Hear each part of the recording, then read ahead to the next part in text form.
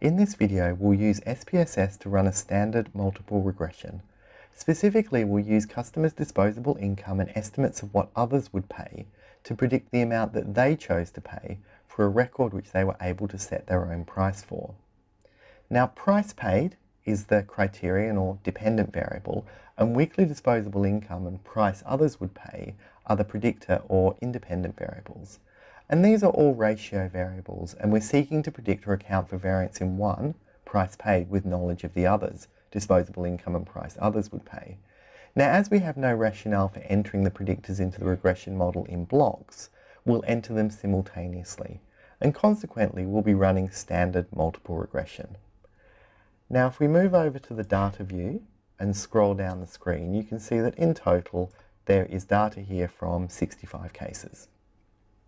So in the Analyze menu, select Regression and then Linear.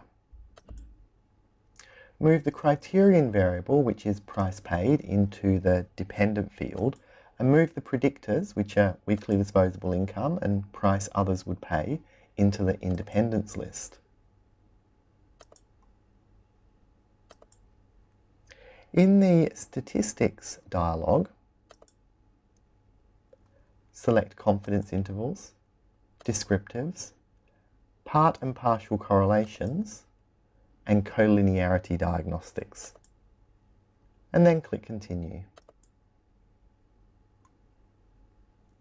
In plots, select standardized residuals and move it into the Y field, and then select standardized predicted values and move it into the X field and then also select histogram and normal probability plot.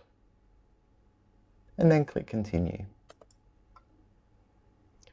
In the save dialog, select Mahalanobis and Cook's under distances and then under residuals, select standardized. And click continue. And finally click OK and your output will appear in the SPSS viewer.